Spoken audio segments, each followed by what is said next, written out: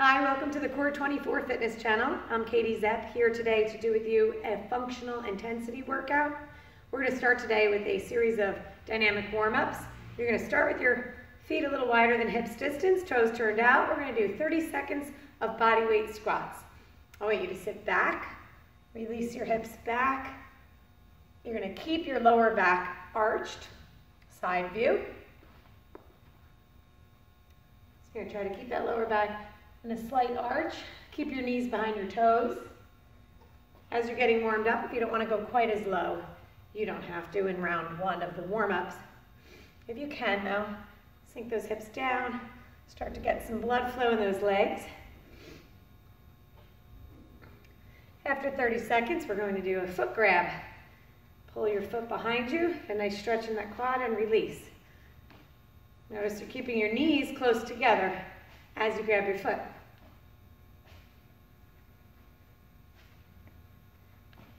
If you're unable to grab your foot, if you don't have that flexibility, then you can just bring your foot as close to your butt as you can until you feel a stretch in your quad.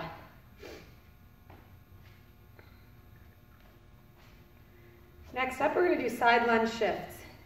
Now my feet are wider than hips distance. My toes are now facing forward.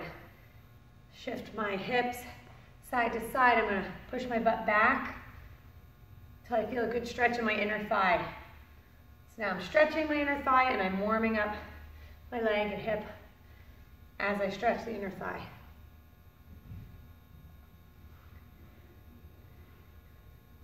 And next we're going to stretch our hips a little bit more with a figure four foot grab. You're going to grab your shin and your foot, pull it up, each time I pull my foot up, I'm also trying to rotate my knee out.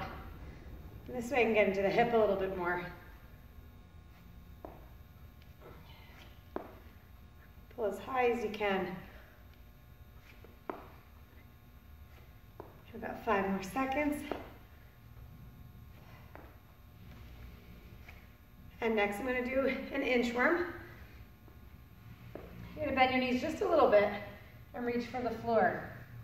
If you can't get to the floor, you can bend your knees a little bit more. If you can, you're trying to keep your knees pretty straight, just a slight bend.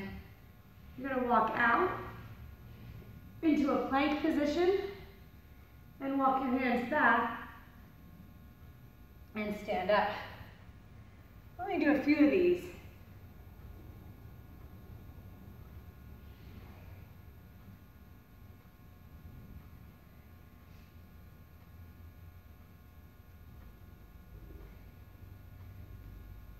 Okay.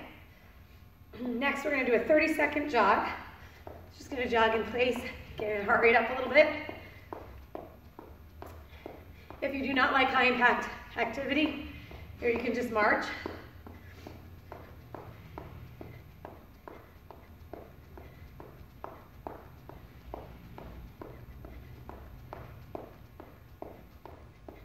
Five more seconds of a jog. And that's round one of the warm-ups. Those dynamic warm-ups can be looped up to three times. I want you to feel warm when you start the workout. So if you'd like to do this up to three times, you can uh, repeat the beginning of this video and do that again. If you do feel warm, you're gonna get started on the functional training workout. Today's workout involves the use of a kettlebell. Um, if you don't have a kettlebell, you can do most of these exercises with a medicine ball or a dumbbell. We're gonna start today with 30 seconds of a kettlebell overhead press. So we're gonna bring that kettlebell up over our ears. I'm holding the ball of the kettlebell. Some people prefer to turn it this way when you press. It's a little bit more difficult. You can decide how you want to do that. So we're doing this for 30 seconds.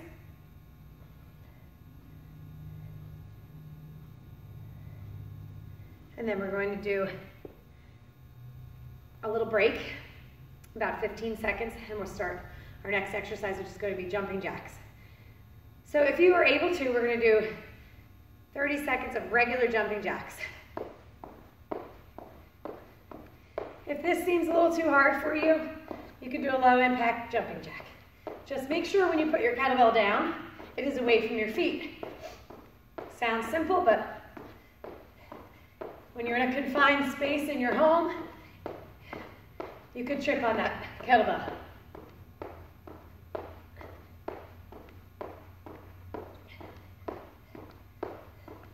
Okay, we're to take 15 seconds to rest again before we start our next kettlebell exercise, which is going to be an upright row. For an upright row, it's important that we do a little bit of a shrug first. You're to bring your shoulders up and then lead with your elbows till you pull the kettlebell right under your chin. So we're to start 30 seconds now. Shrug and pull. You don't have to completely separate these movements, but you do want to initiate each pull with a shrug. And again, leading with your elbows all the way up until the kettlebell is just under your chin. About five more seconds.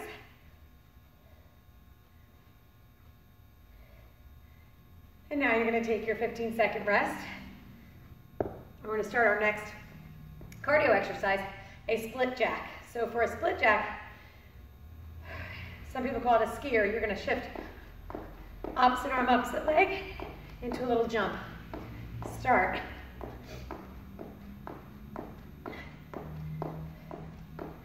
If this is too hard, I want you to do a single leg tap out. This is our low impact. This is our high impact.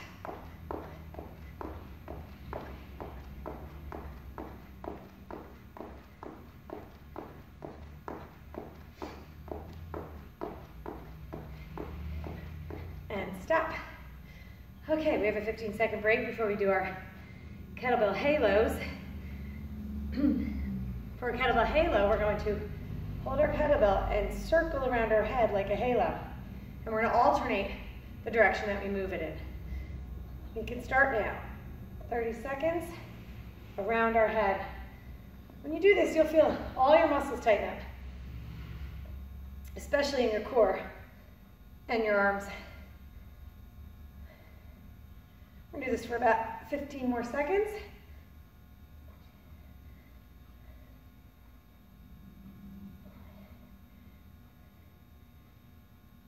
And take our 15 second break. The next exercise we're going to do is called a seal jack. It's just a jumping jack. We're to open up and close our arms like a seal. Getting a little bit, little chest involved. Begin. And just as we would with any modified jack, if you need to jack with no impact, you can tap your foot out and still continue to do the arms. 15 more seconds of a seal jack.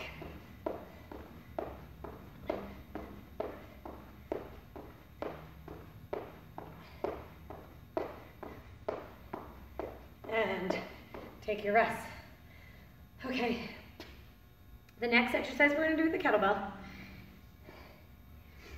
is an over the top. You're going to start the kettlebell up one shoulder, bring it up and over to the other shoulder. You can begin.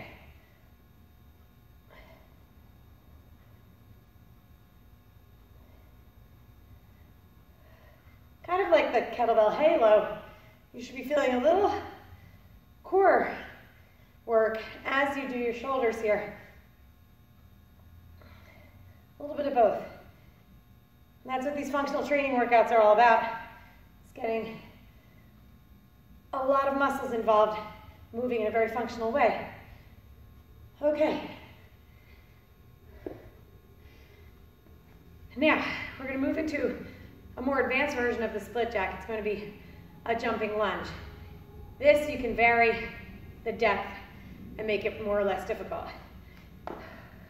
Jumping lunge side view, my front knee is never passing my toe as I drop that back leg. A jumping lunge is pretty advanced, so if you can't do that, you're gonna go back to the split jack or the single leg tap out.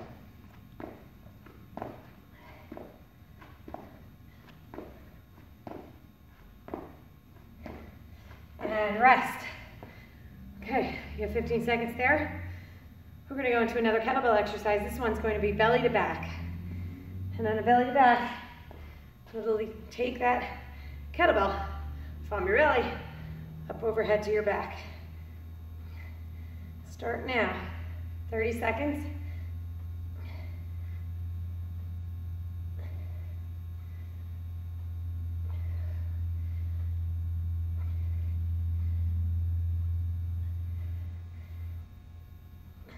Definitely feel my core on this one. Little triceps, shoulders.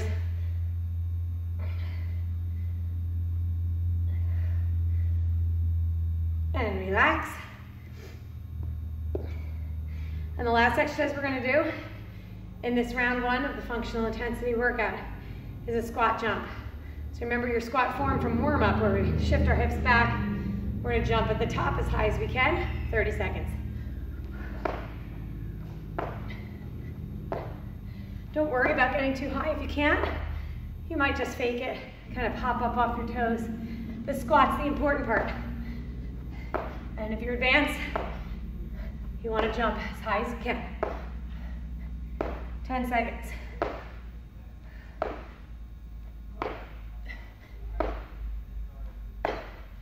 And break. Okay.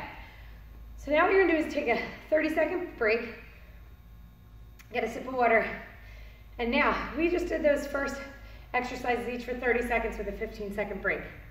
In this next round, I want you to do it 15 seconds longer. You can do 45 seconds of each exercise. And you're gonna take a short 15 second break again. After round two, during which you did the 45 seconds and the 15 seconds off, you're gonna take another 30 second break and do your lightning round three.